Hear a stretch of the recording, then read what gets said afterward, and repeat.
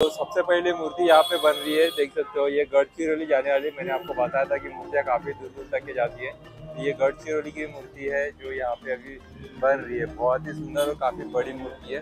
तो और चलते हैं, और ये यूनिक लग रही है, और ये बहुत अलग डिज़ाइन भी है। मैंने अभी तक ऐसी मूर्ति नहीं देखी थी। यहाँ पे एक आप देख सकते हो कितने सुंदर हाथी यहाँ पे बनाए गए और उनके ऊपर गणपति बापा और इधर में जो है मोर भी यहाँ पे बनाए रहे।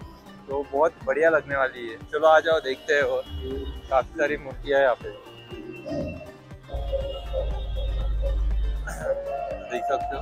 हमने जब पिछली बार शूट किए थे, उस टाइम में ऐसी मूर्तियाँ यहाँ पे बनना शुरू भी नहीं हुई थी। तो उस टाइम में पूरा खाली खाली था, लेकिन अभी देख सकते हो यहाँ पे कंटिन्यू पूरे लाइन से मूर्तियाँ बनना शुरू हो चुकी है। और महाकाल के दर्शन देख सकते हो। शिव जी की शिवपिंड पे आपको दिखाई देगा, बहुत ही सुंदर तरीके से, बहुत अट्रैक्टिव लग रही है। ये कुछ यूनिक मूर्ति देखने को लग रही है। और कई गणपति पप्पा खड़े वाले, और भी चलते आगे में। आ जाओ, आगे में देखते हैं। तो यहाँ पे काफ़ी छोटे छोटे गणपति पप्पा आपको दिखा देंगे। ये भी सार्वजनिक गणपति पप्पा ही है।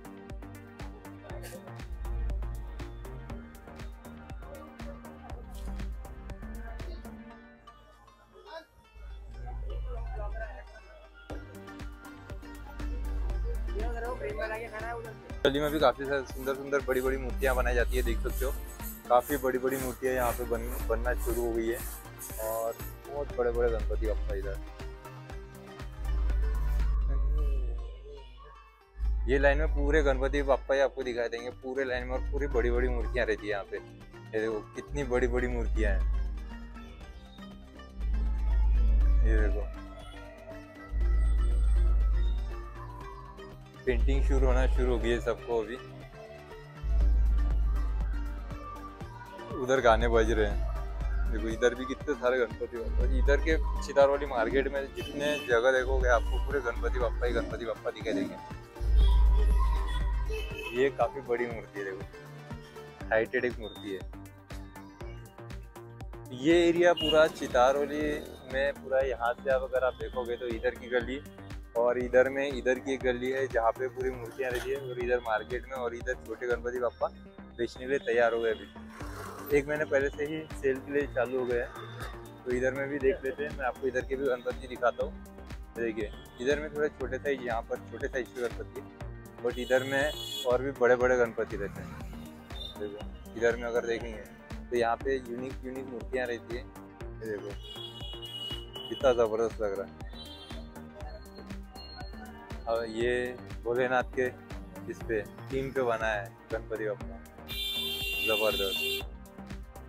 और ये कितनी बड़ी मूर्ति है देखो।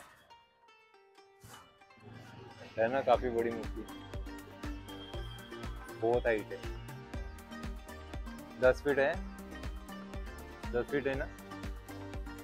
मूर्ति। ज़्यादा है? क्या बात कर रहे हाँ बारह फुट के आसपास होगी।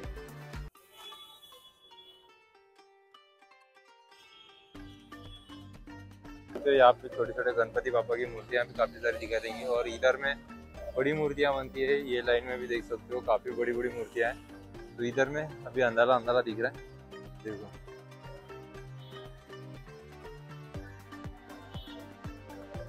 हमने पिछली बार जब वीडियो लिया था, तब यहाँ पे मूर्तियाँ इतनी नहीं थी, लेकिन अभी देख सकते हो, एक महीने में काफ़ी सारी मूर्तियाँ यहाँ पे जो है तैयार हो गई।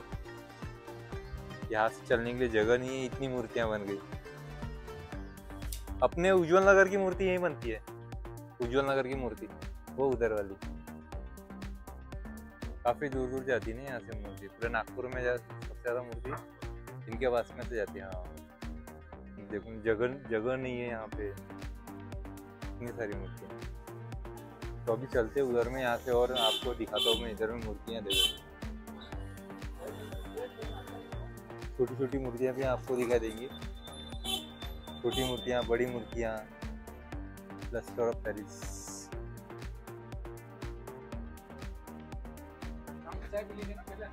यहाँ पर भी काफ़ी सारी छोटी छोटी मूर्तियाँ पूरी करेंगे, अभी कलर पेंटिंग होना बाकी है देखो। दोस्तों, नागपुर में और कहाँ पे गणपति की मूर्तियाँ बनाई जाती है, हमें कमेंट सेक्शन में ज़रूर बताएँ। हम वहाँ के भी वीडियो आपके ज़रूर ले जाएँगे लाइक करो शेयर करो और नया तो सब्सक्राइब कर लो।